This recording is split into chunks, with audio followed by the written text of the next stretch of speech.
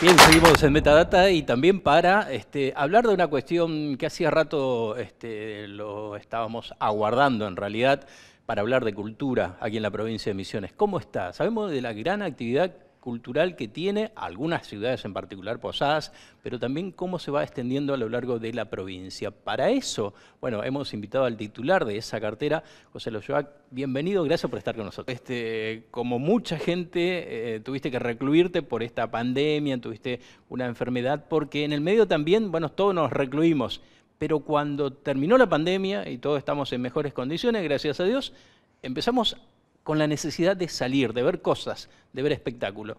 ¿Y cómo ha arrancado en, este, en esta etapa, si se quiere, José Yo creo que, eh, haciendo un poco de historia cercana de estos últimos dos años y medio, estamos transcurriendo la mitad del, tercer año, nos queda un año y medio más de gestión. Cuando recién eh, tuvimos la oportunidad de comenzar con, este camino, fue el 9 de febrero del, 2020. Eh, en dos meses más tarde llegó la pandemia mundial, que no teníamos ni idea. Presentamos un plan que se llamó eh, el Plan Cultural 2020, que, lo íbamos a desarrollar en el primer año de gestión. Bueno, este, ahora mirándolo desde lejos uno dice que qué loco, ¿no? Querer hacer tantas cosas en un año y, sin, sin, saber de que, de que, todo lo que se venía después. Sin embargo, eh, con un poquito más de tiempo extendido, yo creo que nos están quedando eh, muchas cosas por hacer, pero, pero venimos en un 70% de, cumplimiento de esos compromisos pactados y escritos y dichos públicamente. Vino Miguel Ángel Estrella, tocó el piano en, el, en, el, en, el, Teatro Lírico de la, del Parque del Conocimiento, Hoy Miguel Ángel Estrella ya no está entre nosotros, nuestro amigo se, fue a otro plano, eh, pero, pero, lo recuerdo con cariño en este momento. Eh, ese, en ese instante no, no imaginábamos lo que se iba a venir. Tuvimos que quedarnos en casa, el 100% de la actividad cultural se detuvo, fue lo peor que le pasó a la familia cultural en el mundo, en la historia de la humanidad, desde que comenzó la industria cultural a hoy, nunca pasó esto. Y cuando se vuelve a abrir, como decís, sentimos ahora que la gente se ha volcado mucho más a, los espectáculos, a los eventos, a las actividades. Se cree desde, desde el estudio de, lo social, desde la psicología, que en cierta forma tal vez hemos aprendido a valorar el, tiempo libre, a valorar el contacto humano.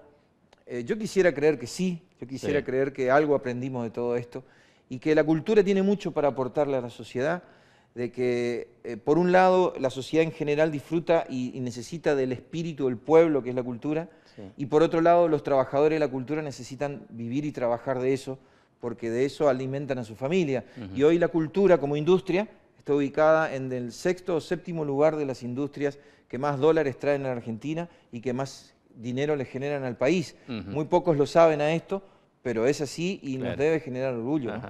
Podemos hablar, a lo mejor no sé si es muy ambicioso el término, pero hay una suerte de renacer de la actividad cultural a lo largo de la provincia. Vos sos un conocedor de Misiones porque te hemos visto recorrer de punta a punta. Vemos lo que pasa en Posada, como decíamos, conocemos lo que pasa en las grandes ciudades. ¿Qué pasa en esos puntos que, este, bueno, por ahí hasta cuesta llegar? Eh, ¿Se van sumando también a esta movida? Yo creo que bueno, yo tengo 30 años de trabajo de artista independiente y dos años y medio de funcionario. Sí. O sea, mi corazón todavía está eh, latiendo, eh, está latiendo por el recorrido aquel. del otro lado del mostrador. Claro. Sin embargo, soy muy agradecido por la oportunidad que el gobierno provincial me ha dado eh, de poder participar. es muy arduo, es muy difícil la gestión, es más difícil de lo que yo pensaba, es más complejo. Estoy aprendiendo mucho humanamente, espiritualmente. Eh, a nivel gestión estoy aprendiendo mucho. Eh, entonces puedo ver cómo, cómo, son las cosas del Estado, cómo es administrar la cosa del Estado y también cómo lo ve el trabajador de la cultura. Yo creo que eh, hay una explosión hacia lo cultural como, como consumo y que es el mérito principalmente del trabajador de la cultura, porque el Estado no hace la cultura. El Estado administra una gestión cultural, pero la cultura la hace el pueblo, que camina, que, come una empanada salteña, pero también un reviro misionero, un asado, ¿no? Este, eh, por eso decimos, che, no, este asado es con carne de Santa Fe. Claro. Y, eso es un, decir, porque se cree eh, antiguamente que en Santa Fe había buena carne, pero en Misiones también hay buena carne. Entonces, tenemos que ir modificando costumbres para ir eh, entendiendo que lo cultural siempre tiene que ver con lo industrial y con, ni hablar, por ejemplo, con las artes audiovisuales, con el cine que se generan en la provincia y que estamos ubicados en el, eh, tercer lugar del ranking nacional. Bueno, eh, todo eso. Eso me da una pauta de que hay una suerte de registro de cómo se está moviendo la actividad cultural en, distintos ámbitos, ¿puede ser? Yo, recuerdo, siempre le cuento a los amigos la anécdota eh, simpática, recordando a Piñón Fijo, el, ídolo de los niños y de no tan niños. Yo que lo conocí en persona a Fabián Gómez como, como amigo y, a Piñón, que, es su personaje. Eh, yo necesitaba hablar con un ex gobernador para plantearle la situación, teníamos nuestra asociación de músicos y, tuve que, eh, vestirme eh, con un traje que, me ayudó a generar eh, Piñón cuando vino a tocar Aristóbulo del Valle, sabiendo de que el gobernador, que era vecino de Aristóbulo del Valle, ya todos saben quién fue, de quién estoy hablando, y lo hablo, lo digo con mucho cariño, ¿no?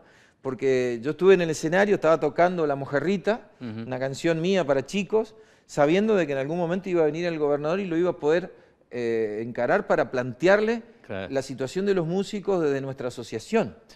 Entonces ocurre esto, sube al escenario el gobernador y yo le hablo y me dice, ¿qué hace acá? ¿Y cómo está vestido así?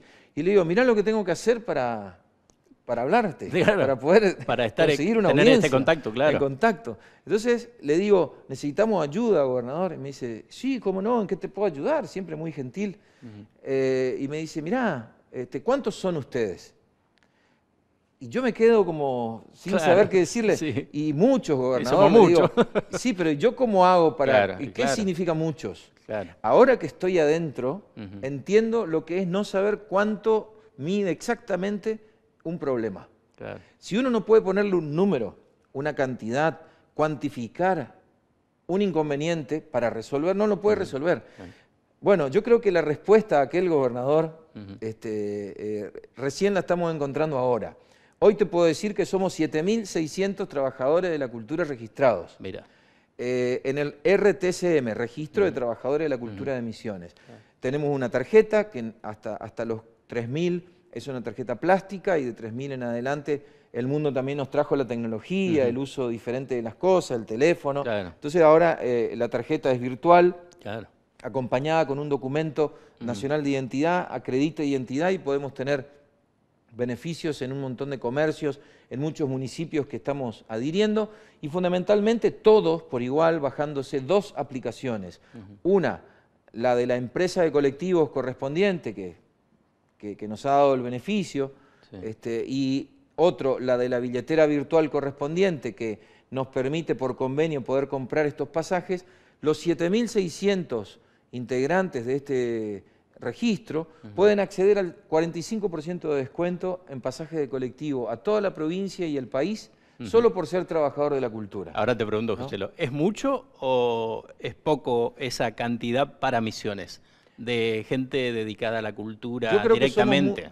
yo, creo que somos muchos más. Eh, por eso le hemos pedido, eh, está en comisión, en la Comisión de Cultura y Educación de la Cámara de Diputados, que este registro sea avalado por una ley provincial. Se lo, pedimos al, ingeniero Rovira y a toda la Cámara de Diputados que puedan en una sesión aprobar que el RTCM es eh, una ley provincial que rige en el ámbito de la, Secretaría de Cultura. Eh, lo que siempre pasó es que estos registros se abrieron, se cerraron, se inscribía la gente, no sabía para qué. Esta es la primera vez que el trabajador de la cultura empieza a ver que registrarse vale la pena.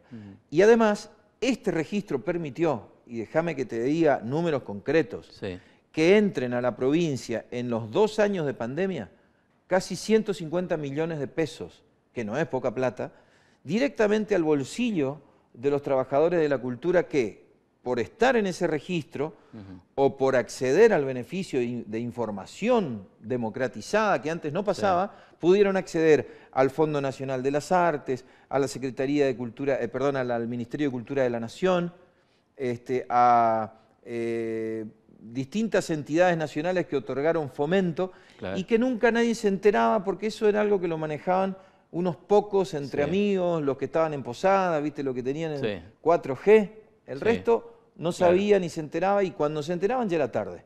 Entonces, desmitificar eso de que vivir en posadas tiene más beneficios para el trabajador de la cultura que vivir en el interior o en un municipio lejano. Yo no sé si lo estamos logrando, pero lo estamos intentando por lo menos. Se está organizando, digamos, es un proceso de, organización por lo que me estabas diciendo. Yo tengo una mochila de frustraciones, de cosas que quería hacer y no pude hasta ahora, pero, pero bueno, eh, son cuentas pendientes del corazón, de querer lograr el objetivo. Lo principal, lo troncal, que si yo tengo que hacerte un análisis hoy de gestión, primero es que se creó el Ministerio de Cultura, que el doctor Oscar Herrera firmó un decreto, a quien le vamos a agradecer eternamente por lo que ha hecho. Segundo, en lo personal que haya confiado en mí, ya es un gran honor, porque yo venía hablando de esto con él y nunca hablamos de nombres. Siempre fue eh, doctor, vamos a hacer esto, es necesario. Él tomó la decisión y encima después que haya confiado en, un humilde servidor, él como, como el, esquema político provincial del Frente Renovador, decir, che, José lo puede ser el ministro de Cultura. Bueno, mi desafío es no, fallar a ese... Eh, no fallarle al gobierno que confió en mí y no fallarle a mi familia cultural que confió en mí. Claro.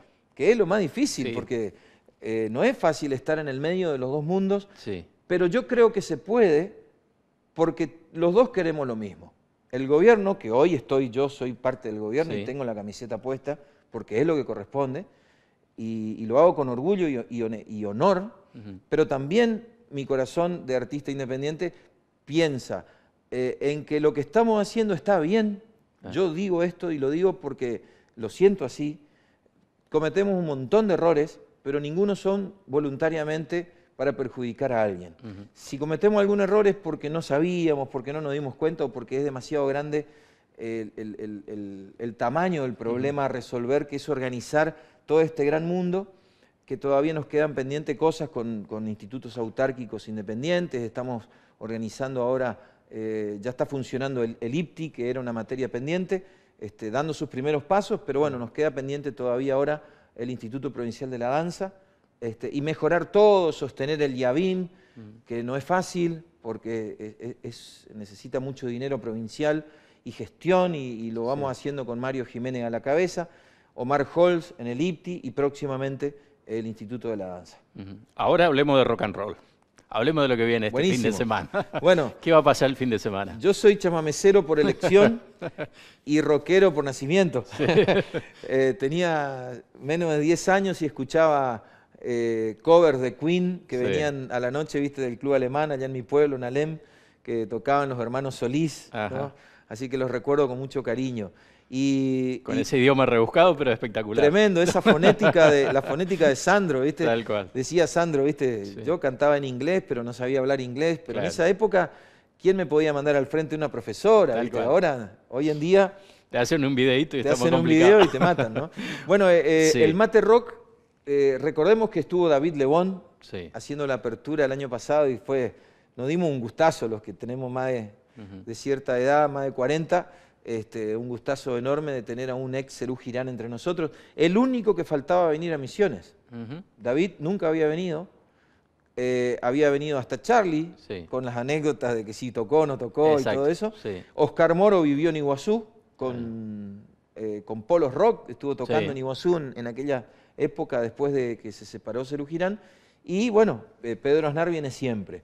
Eh, el Mate Rock tuvo con la apertura de David Lebón y las bandas más consagradas de la provincia eh, en Posadas y algunas en el interior. Y ahora es la etapa de la competencia, del certamen, en donde las bandas que se inscribieron, que fueron más de 90, 90 bandas. 90 bandas después de la pandemia. Estamos hablando 90 bandas de misiones. De misiones. Claro. La gran mayoría, hay que reconocerlo, son de posadas, por eso son tres días, viernes, sábado y domingo, 29, 30 y 31, de 18 a 22 horas en el anfiteatro El Brete de la ciudad de Posadas, que ya se está institucionalizando como el anfiteatro rockero de la ciudad. Ahí se hizo el homenaje a Charlie García, se hacen recitales todo el tiempo. Y bueno, el mate rock ya ocurrió ahí y se repite de esta manera. Así que yo creo ¿Qué que se hace para que la audiencia entienda? ¿Se hace una selección? Son tres días de selección, tocan 27 bandas en tres días. Sí. Tocan de 12 a 15 minutos cada banda. Eh, que se inscribió en su momento y que reconfirmó participar. El, Mate Rock nació el año pasado, a fines del año pasado. Esto que está por pasar el fin de semana era para el verano pasado, pero recordemos, incendio, sequía, el sector agropecuario totalmente devastado y la financiación del Mate Rock la hace el Instituto Nacional de la Yerba Mate. Entonces, de más está decir por qué no, no le dimos continuidad en el verano porque no se podía estar haciendo el mate rock mientras se prendía fuego. celebrando, festejando algo. Exactamente, no, no, no, se podía. Entonces, todo el mundo entendió, todo el mundo, al contrario, todos fueron y fuimos solidarios con la situación. Y el INIM hace ahora eh, un esfuerzo enorme y nos ayuda a que hagamos eh, las tres fechas de Posadas y el mes siguiente, en agosto, eh, El Dorado, Oberá y Apóstoles, 22, 23 y 24 de, de agosto respectivamente con las bandas de cada región. La región capital se mide este fin de semana.